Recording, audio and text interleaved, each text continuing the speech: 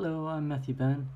Uh, just saying a few words about my history, um, what I'm about, and where I'm going.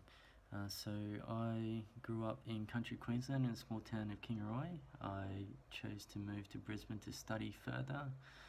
Uh, moved to Brisbane in 2005. Um, I initially started in engineering and science. Uh, I ended up moving across to hospitality. I enjoyed being around people and making people happy. I ended up having quite a good career uh, about 12 years into it. Uh, rose quite high in the ranks of management, now assistant night manager uh, for an international hotel, four and a half stars.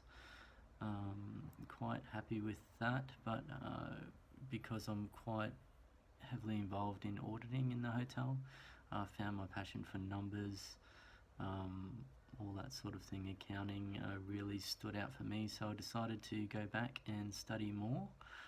Um, yeah, so I currently major in accounting and economics.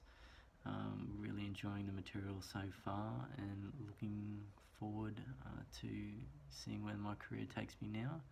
Um, looking forward to make the transition into financial accounting and become a CA as well.